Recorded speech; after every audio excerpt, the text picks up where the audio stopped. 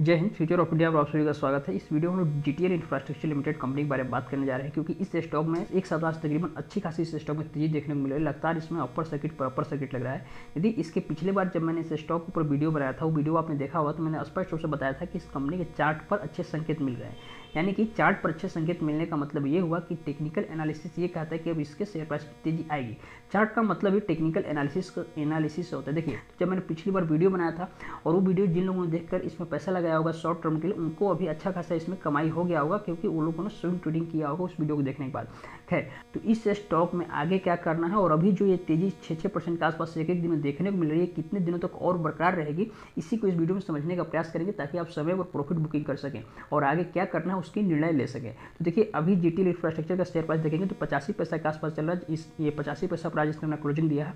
और देखिए ये तेज़ी यदि आप देखेंगे तो पिछले एक सप्ताह से भी देखने को, एक सप्ताह से अधिक समय से देखने को मिल रहा है। पिछले एक सप्ताह में देखेंगे तो तकरीबन इक्कीस परसेंट के आसपास से रिटर्न दिया और सिर्फ़ और सिर्फ़ देखेंगे तो अपर सर्किट में ये स्टॉक चल रहा है। देखिए यहाँ से उठना शुरू हुआ था स्टॉक सत्तर पैसा से उठना शुरू हुआ था और अभी पचासी पैसा के आसपास पहुँच गया अपर सर्किट में स्टॉक जैसे पिछले कोई काफ़ी दिनों से चल रहा है।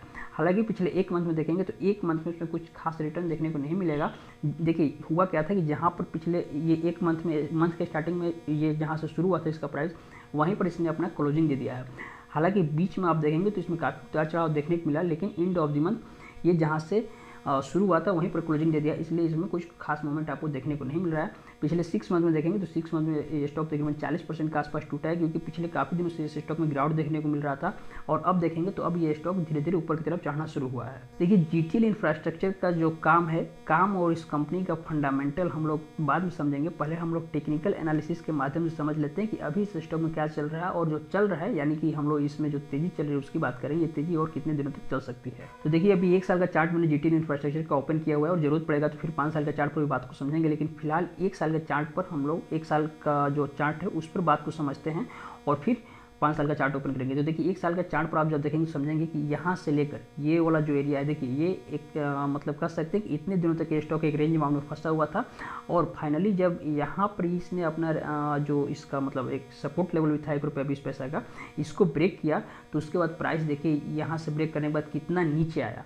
थोड़ा सा मैं चार्ट को और ऊपर करता हूँ तो आप स्पष्ट रूप से देख पाएँगे। यहाँ पर देखिए, ये जो इसका एक सपोर्ट लेवल था, जब इसको ब्रेक किया तो प्राइस एक रुपये बीस पैसा सीधे आया साठ पैसा तक। अब आप देख सकते हैं, साठ पैसा से फिर प्राइस उठकर अस्सी पैसा तक आ गया है, और सिर्फ़ और सिर्फ़ जो एक एक दिन में छः छः परसेंट की तेज़ी देखने को मिल रही है, या जो अपर सर्किट में स्टॉक चल रहा है, उसकी, उसका कमाल है। तो अब सवाल है कि और ऊपर कितना, और कितना ऊपर जा सकते हैं? देखिए, यहाँ से यदि उठना शुरू हुआ है साठ पैसा से तो ऑलरेडी अस्सी पैसा तक आ गया है।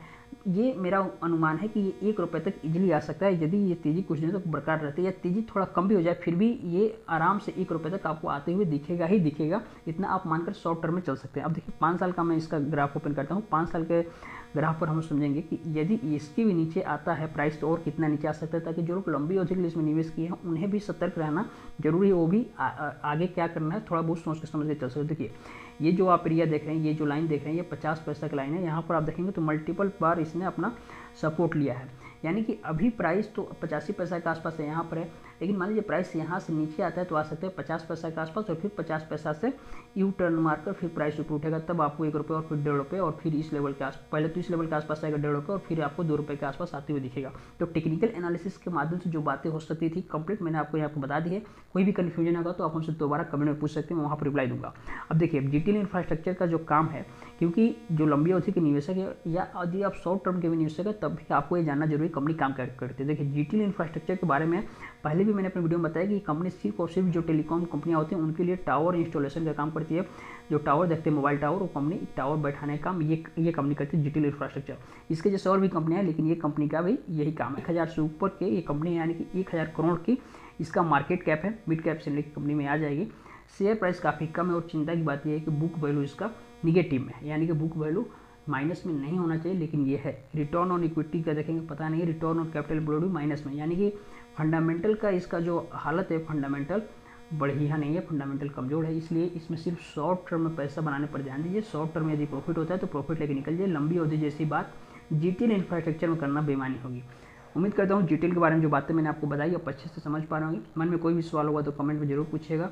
व्यक्तिगत रूप से मुझसे जुड़कर बातें करने के लिए आप मुझको इंस्टाग्राम पर फॉलो कर सकते हैं। उसका लिंक इस वीडियो को डिस्क्रिप्शन में मिल जाएगा। यदि आप ट्रेडिंग करना चाहते हैं शेयर मार्केट में और आपके पास बेस्ट डिमिट अकाउंट नहीं है तो मैं आपको रिकमेंड करूँगा आप पेंजल वन या एम स्टॉक के साथ अपना फ्री डिमेट अकाउंट ओपन करा सकते हैं। उसका लिंक इस वीडियो को डिस्क्रिप्शन में मिल जाएगा। मिलते हैं अगले वीडियो में तो धन्यवाद, शुक्रिया।